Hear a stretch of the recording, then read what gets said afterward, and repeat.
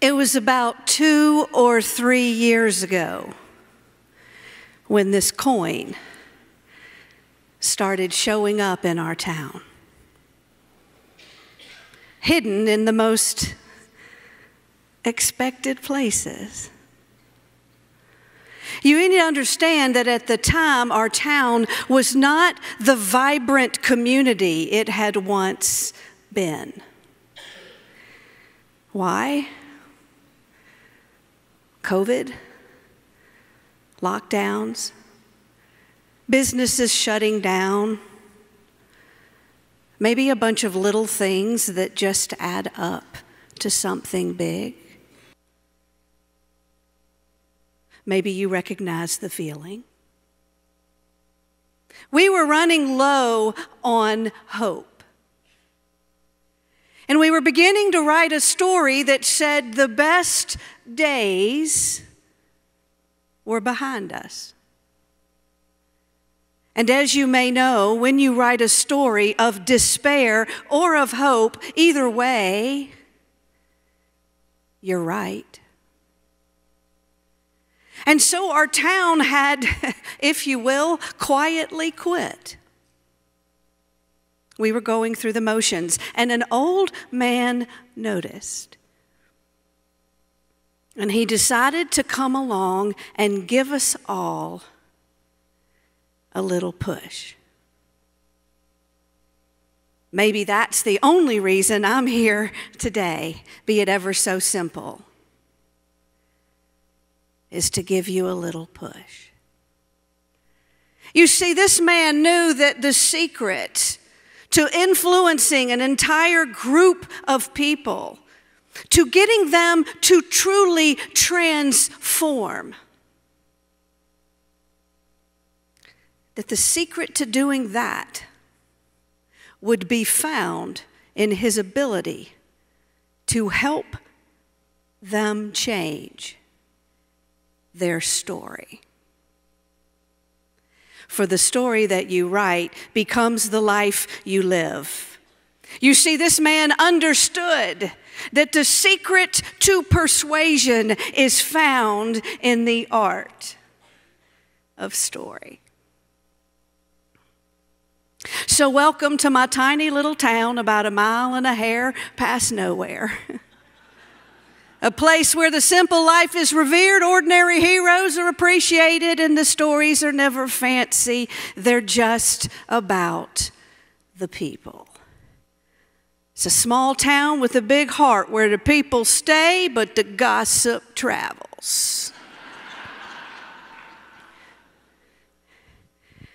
and I'm here today just to share a few of their stories. The first one that I heard about the coin showing up was to Harriet Bumgardner. Harriet and Harold Bumgardner, they live in the White House with the little green shutters and the flowers on the mailbox over on Front Street. Harriet and Harold were the type of couple that sort of blended in, if you know what I mean. They never got overly excited about religion or politics. As parents, they colored inside the lines. They lived in various shades of beige. They were the type of couple that were always invited to the parties, but you could never remember exactly if you'd seen them there. Harriet had a tight bun on the back of her neck. She wore floral and pantyhose. Till the day she dies, she will wear pantyhose. They've lived in that house as long as I've known them, ever since Harold passed. Yes, he passed. Don't be sad you didn't know him.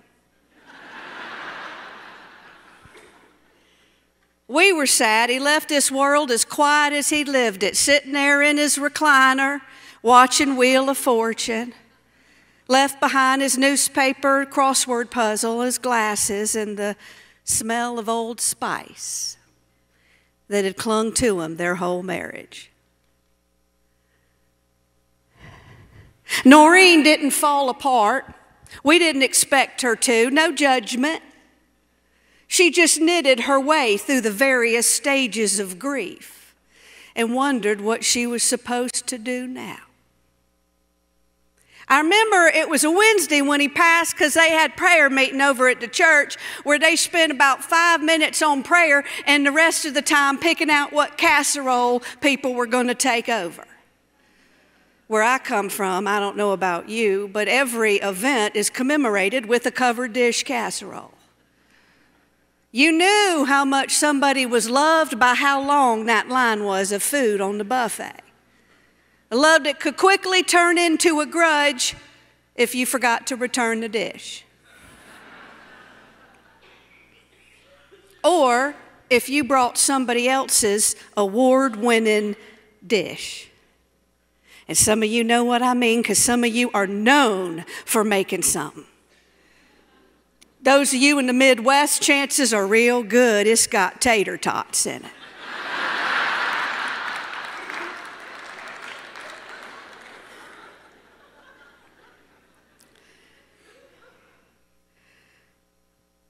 So, Harriet was standing in the front yard and on a Saturday morning, that's what it was. It was a Saturday morning, and Noreen was over from next door giving her a lecture. Noreen's daddy was a colonel. Noreen's love language was not casseroles, it was lectures. Maybe you know the type. More she loved you, the longer she lectured. And she uh, was telling uh, Harriet how you needed to cut the grass in angles instead of straight lines. Harriet was uh, uh, listening politely while Noreen stood about four feet tall. Her, if she had a body type, it'd be rope. she had never married. Her only companion was that oxygen tank she rolled along with her, whose hisses punctuated all of her lectures. So she was knee deep into one of these lectures when Harriet gets the mail from the mailman who's just driving by. Harriet gets an envelope, she opens it up, there's a coin inside. It asked her, What would you do if you were brave? Now, Harriet was not usually one for challenges like that. But she knew right away. And before her head could talk her out of it, her heart answered. She'd learned to drive that Buick, sitting in the driveway, waiting for the kids to come pick up and go sell. It had been Harold's, and she'd never learned to drive. And you might be thinking, that's weird. Who doesn't know how to drive? Or maybe you understand. They used to live up in the big city, they didn't need a car. By the time they retired and moved down to our town, well, Harold drove. That's all they needed. Once Harriet said, Would you teach me to drive? And he said, Oh, that's silly. And it became her one regret. Maybe you know the feeling. So Harriet stood there in that lawn, and before her head could talk her out of it, her heart spoke up and it said, Noreen, I want you to teach me to drive today, and we'll go sprinkled Harold's ashes. It'll be a good use of the gas in case he's listening. Noreen lit up like she just won the lottery. Her zeal for helping people far outweighed the amount of people who ever came to her for help. She was all excited. She said, Hold on, I'll be right back. I'm gonna go get some supplies. She goes running into her house and she comes back and she's got a clipboard and she's got a whistle and she's got a machete. And she's got a disposable cell phone with a number programmed in it so they could tape it on the inside of the trunk in case they got abducted, like she saw on the law and the order.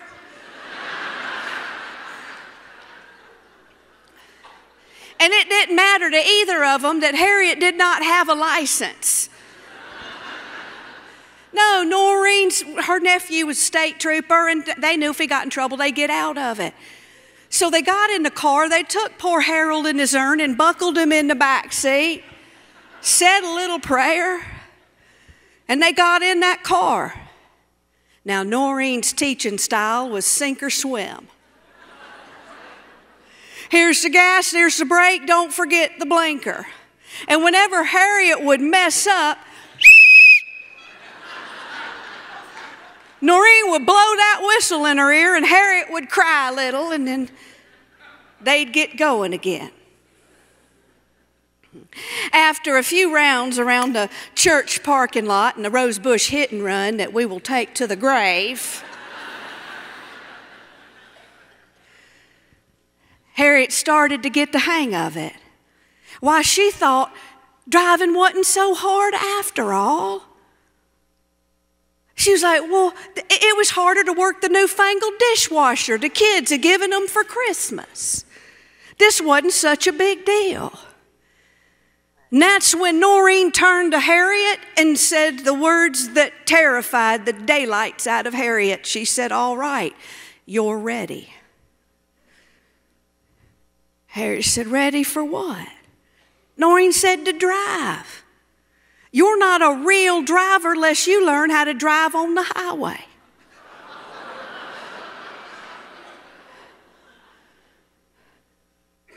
Harriet was terrified. All these thoughts going through her head what if, what if, what if? What would people say? She's too old. She couldn't do this. Finally, she turns to Noreen and she says, Noreen, I can't do this. I'm not strong enough. I'm not brave enough. And we knew that this was about so much more than driving. Noreen said, Harriet, yes, you can do this. You are strong. We both are.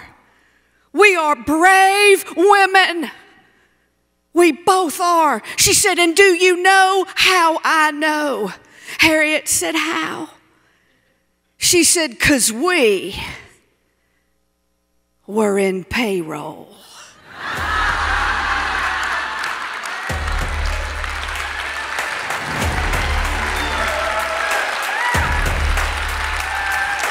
We were warriors of the spreadsheets. We were mighty. We were strong. You knew us by our numbers and the beats of our payroll song. From the corners of the country to the heart of Nashville's beat, the payroll titans gather, making all the loose ends meet. With a rhythm in our numbers and a music in our soul, you're the unsung heroes who make all those paychecks roll. From the east and to the west and all the places in between. In every office, big and small, you're tapping away at keys unseen. But tonight, we are in Nashville where the music's playing loud because payroll's in the house. And we are standing proud.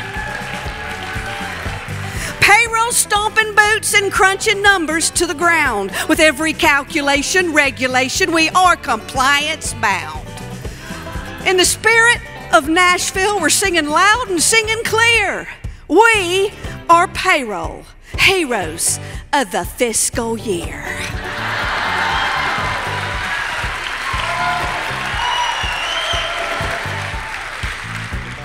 Under neon lights, we celebrate our powerful salary band, armed with timesheets filled out wrong, written by sloppy hands. We dance through dumb questions with a twinkle in our eye, exploring workers' comp claims underneath fluorescent sky. Can you add a little extra? Comes a whisper sliding quick, lost time sheets and urgent fixes, each trick as old as brick. Why's my paycheck lighter? The chorus sings in dismay. We juggle every query we two step through each delay. We are payroll, every hurdle we have leapt. In the rhythm of our numbers, all our promises are kept. From Broadway to back office, while we're the unsung beat, we are payroll. And without us, your family doesn't eat.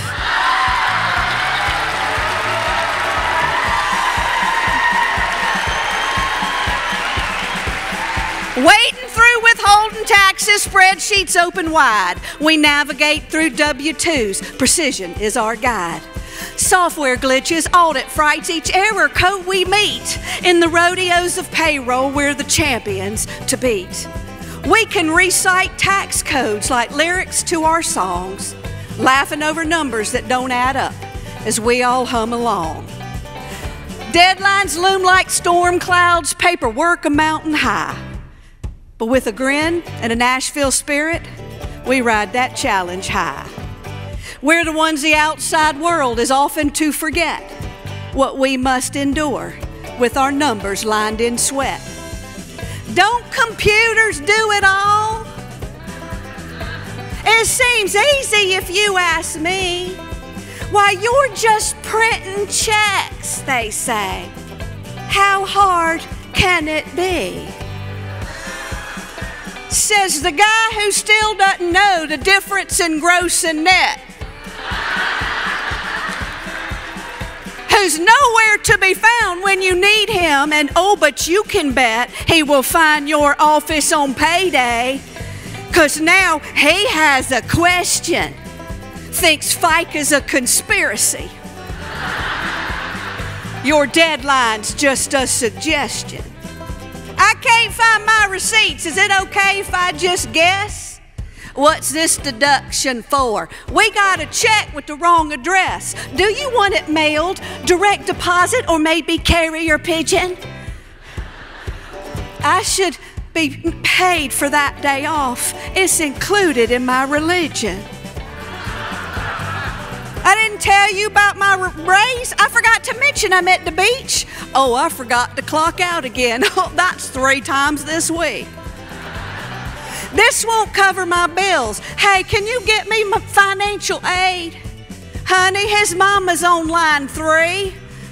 She wants to know why her baby's not been paid.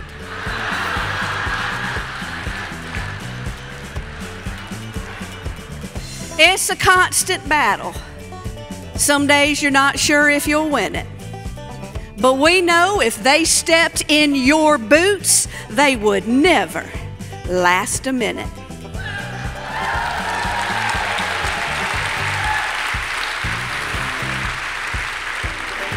So, in this gathering of number crunchers under Tennessee's great sky, you're the heroes of this hour, with your non exempt heads held high.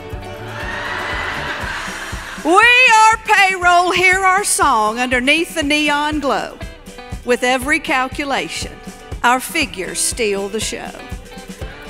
In the spirit of Nashville, where dreams come alive, we are strong and we are mighty, and together we'll always thrive.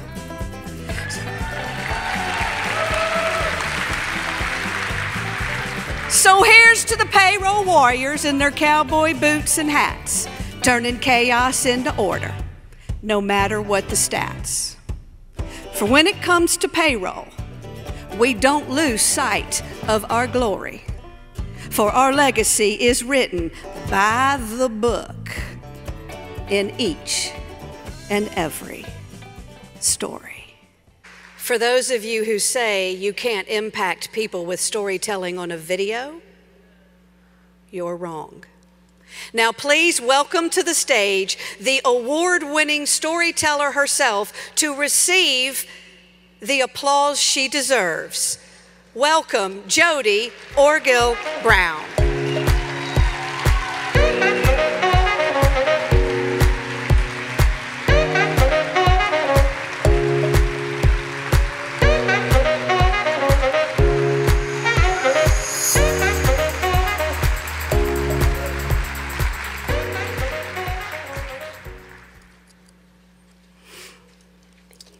You made me cry. You make me want to sing while humming with my mouth shut. That was beautiful. Thank you. I took a million notes, as I bet you did too. So much we can see that's good and, and rich and beautiful in that. And I, I want to try to even go deeper beyond the surface notes that I took and go underneath and point out layers that I see in your story that we can learn from when I look at a story, I look at is it compelling? Is it persuasive? And is it easily digestible and repeatable? Beyond the bells and whistles like characters and whatnot. I want to point out, Jody, just four, and all the talking points, by the way, today, or most of them, will be in your portal online. The first thing I noticed was that it was conversational. I felt like that was you. Connected with you. I felt like it was the same Jody up there that I would see, you know, at lunch. The good thing is there's really only one Jody, and she shows up all the time the same way. so that helps. Yes, and it makes me like you, trust you, believe you, and know you. And that is critical for connection. Just as it is in sales, same thing up here. If I don't feel like I know you, I'm not following you on this journey. Thank you for doing that. Was it hard for you, or you just it, did you have to learn how to be conversational, or just kind of comes naturally? It comes somewhat naturally, however, you do have to practice. And I think playing the part of the narrator as well as the characters allows you to be conversational and lead the story in a way that you want it to, so that wherever you want to take the audience, you can just naturally lead them there so they can go along the journey with you. Yes, beautiful. So, how do you do that with your story? When you write your story, think about writing it the way you talk, not as if it's meant to be read. Don't use those eyes. Write it as if it's meant to be told. When I tell a, write a story, I practice it as I tell it. Because authenticity is the new polished. The second thing I learned from your story, the layer I see, is it was experiential. And what do I mean by that? You took me to a specific experience that you had. And th- why is that so important? I mean, it had a beginning, it had a middle, it had an end, it was a defined moment. You might be like, duh, but a lot of people in their stories, especially when I go into businesses, they give me a list of facts. That's not a story. A story is about an experience, about somebody who goes through something. They have a conflict, they have a resolution, they have a victory moment on the other side. And I appreciated that it was an experience. I also saw a layer of emotion. I, it had the feels, right? And that is, you might think, why does that matter? Because that's going to get in a deeper level for me. I'm going to connect. It's going to have a more lasting. You're opening up different parts of my brain. Is it was it hard for you to be an emotional speaker? Was that hard? Did you have to learn? Did it feel weird, or does it always come naturally to you? Because for some of us, it can be kind of hard. My own personal survival story has come with a lot of deep and difficult emotion.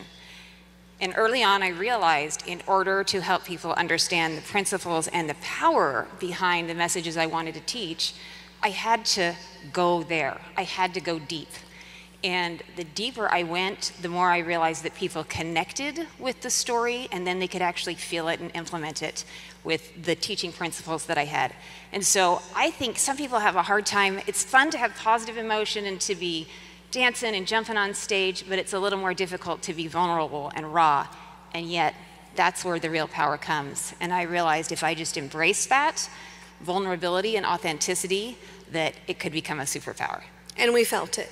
You illustrated it beautifully. How do you do that yourself? Well, it can be very practical, actually. First of all, don't tell a story you're not through bleeding from and have found the gift in it. You don't have to be over it, but, but be able to be on the other side of it to some degree. Make sure your story has emotion in its structure. St- stories are not just about conflict resolution, uh, victory moment. They're about the emotion that is attached to it. Don't just tell me what happened to the character in your story, tell me how it made them feel. How did it make them feel to have this problem? How did it make them feel to get this solution? How did it make them feel to live into a new normal? How did it make you feel to be part of that process? Emotions are critical when it comes to persuasion, and they should be included in your story as well. Last thing I want to point out, though there are many, Jody, is that I walked away from your story and I knew exactly what to do with it. I knew the point. The point was be kind, listen to that voice, right? Yes, that was the point. and by putting it throughout and weaving it just like you would foreshadow in a book, then you're helping them understand the point all the way through. And then they get to the end and they realize, oh, yeah, that was the point from the beginning. Yes, yes, bingo. And you might go, duh, I can't tell you how many stories I hear out there in the business world. And you walk away going, what exactly was the point of that? We've got to know what the point is. Before you write that story, before you craft it, think about it. What do you want them to think, feel, or do as a result of hearing this story? Why are you telling them this story? It's not for you, it is for them. What's the lesson? What the point? What's the point? And you may know what it is, but it's not been clearly verbalized in your story. Beautiful job, well done. And with a story like that, I ask myself, because I look at stories like a tool. Are there other things we could add to it that would achieve other purposes? And I thought to myself, what are some of the other layers we could possibly add to that story? And I thought, okay, what if we added a layer of transformation in Jody? What if we added a, I was going through something, and this is how this story changed me, this moment, as a result? I thought, wait a minute, what if she's going to speak to leadership and we could put a strong lead in statement in the beginning and tap into leadership and their, their issue and make the story connect to that particular audience? Could we do that? And then I thought, what if we give them an actual, go do this with this story statement? Now, I know what y'all are thinking. You're like, Kelly, we've told you we don't have that much time to do everything you tell us to do in a story.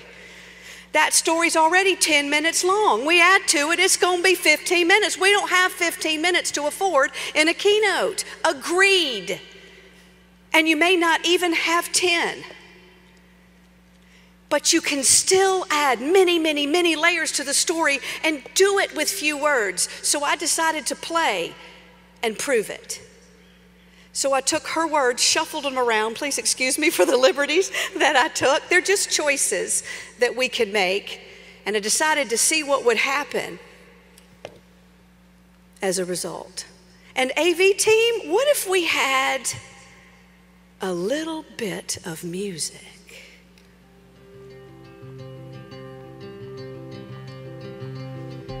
When it comes to leadership, our highest impact is not found in those big stage moments, but rather the small ones we never saw coming. I was reminded of this a few years ago when I was rushing around my city, checking off all these items on this long list of things to do. And I was also in a funk. Business was down. And I was starting to feel like I had been left behind like I had lost sight of my purpose. It was on Ogden Street, somewhere on my list between drop off the dry cleaners and pick up the chicken, when I rushed past this man in a wrinkled jacket. He was sitting on the sidewalk with his back up against the brick wall of the coffee shop. He didn't see me, and I knew I could just keep going. But that nagging little voice popped into my head, the same one that hung that sign on the wall of my office. It said, No act of kindness is ever wasted. So I stopped and I reached in my pocket and I pulled out this crumpled up $10 bill I'd found in there this morning. I tucked it into his clutched fist and waved and I kept going. I get to the ATM, the next stop on my list. I'm wondering, is the post office going to close before I can get there? I'm punching the buttons, and that little voice in my head whispers again, Get more and go take it back to him. So I walked back to the man. I leaned down. I said, Sir, here's a little bit more. He looked confused. He said, Why'd you come back? I said, Well, sir, I believe God gives us all divine appointments to step into a stranger's life and remind them that they are loved. His face crumpled up, and he told me about the life he used to have and how his wife had died in a fire and he couldn't save her, and how he just couldn't find his way back. I can relate, I said. I once had a life changing event too. and I had a hard time finding my way back again. But maybe someone up there wants you to know that if you're still here, you're not done yet. You still got some living to do. Thank you, he whispered. And I walked away. And I remembered that day do still have purpose. And if I'm still here, then I'm not done yet either. That was the last time I saw that man propped up against the wall of the coffee shop. Maybe he moved to another street, or I don't know. I like to think that he found his way back. And now today I'm standing in front of you in another divine appointment. no, I don't have a crumpled up $10 bill in my pocket to give you, but I'm hoping my message will be enough to let you know that you are seen, that you matter, and that you do have purpose, even if you can't feel it. And all the big things we do as leaders, let's not forget the small moments where we can make somebody feel seen. Oh, and don't worry about how to know when you've found one that little voice will tell you. And you never know when that gift will come right back at you. Because no small act of kindness is ever wasted.